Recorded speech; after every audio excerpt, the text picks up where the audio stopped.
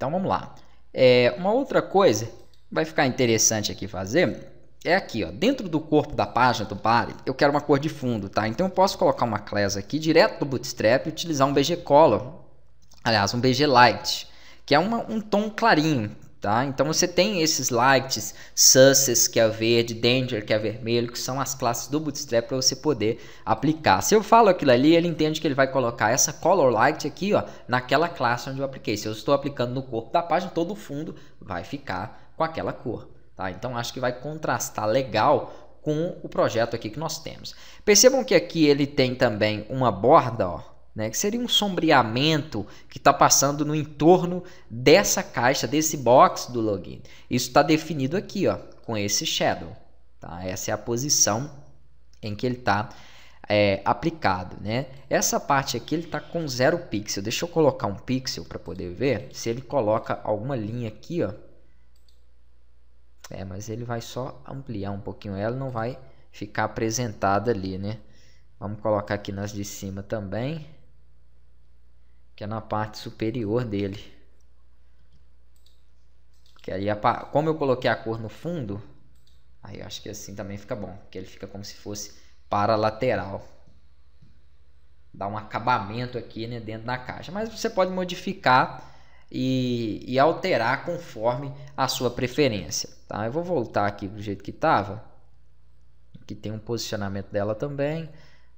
É, vou deixar aqui, ó, no padrão mesmo. Acho que assim ele, ele tá com um acabamento melhorzinho ali, né?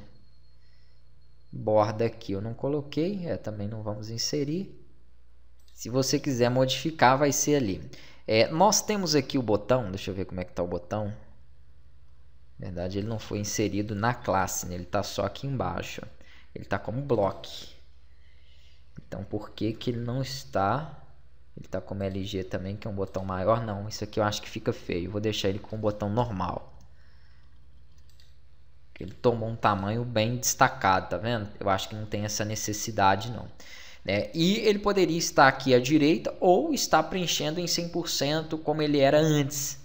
Ele está como bloco na classe, mas ele não está aceitando essa estruturação aqui que foi passada para ele. Tá? Pode tirar o btn block, por quê? É, se eu atualizar aqui, ó, percebam que ele fica no padrão, tá? à esquerda do tamanho que ele foi definido. Vamos colocar para esse botão a classe do Bootstrap 5. O BTN Block não está mais aqui no Bootstrap 5. Ó. Vem aqui em Docs e vamos olhar lá. Tá?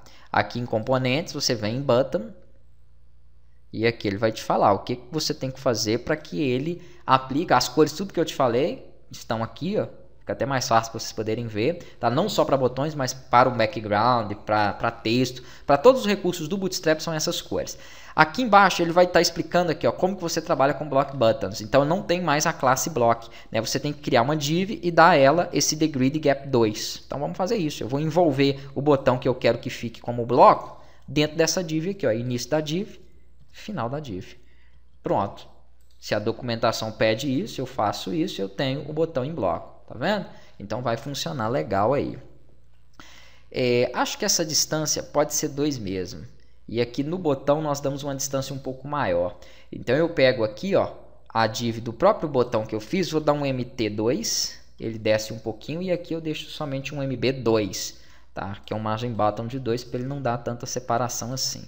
Acho que assim agora tá bom. Vou mais preso aqui né, todo o conteúdo.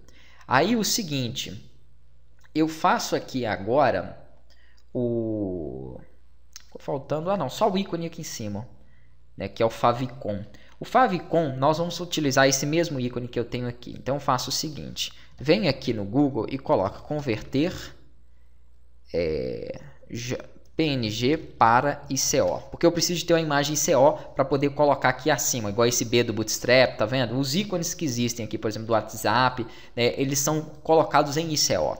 Então você vai pegar a imagem que você tem de logo, a imagem que vocês queiram aí e vai converter, né, da extensão que ela estiver, tá? O meu, no meu caso aqui ela está em PNG, então vem aqui na pasta de arquivos, seleciono ela e ele vai converter ela para ICO. Vou clicar aqui em converter e ele vai gerar para mim o arquivo ICO.